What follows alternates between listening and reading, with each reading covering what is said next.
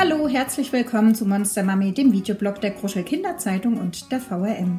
Ich bin Monster Mami Nicole und ich melde mich heute mal aus dem Büro, zumindest aus dem Zimmer, das inzwischen zu meinem Arbeitsplatz geworden ist, denn wie so viele andere auch bin ich seit inzwischen sechs Wochen im Homeoffice. Ja, täglich im Spagat zwischen Kinder und Küche und Computer und Waschküche und was es einfach noch so alles zu tun gibt.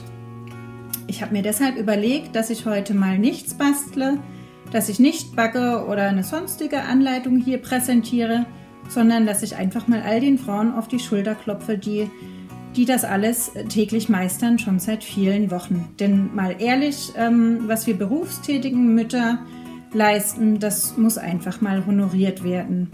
Wir müssen uns nämlich jeden Morgen nicht nur immer selbst motivieren, sondern ja oft auch noch unsere Kinder.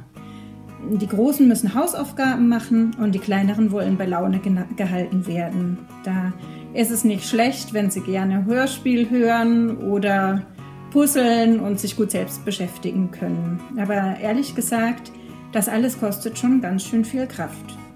Ich wollte dieses Video zum Beispiel auch vor einiger Zeit schon drehen, heute im Laufe des Tages. Dann kam ein großer Streit dazwischen.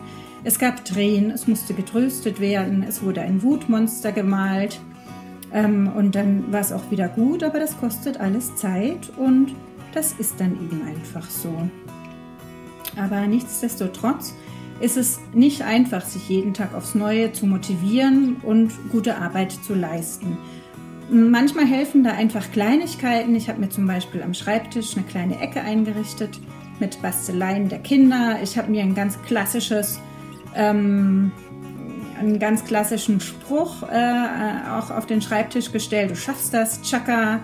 Es gilt einfach immer wieder, sich von neuem selbst zu motivieren und zu wissen, dass klappt am Ende immer irgendwie. Was auch hilft, ist ein Anruf bei der besten Freundin, denn mal ganz ehrlich, am Ende sitzen wir ja doch alle im selben Boot.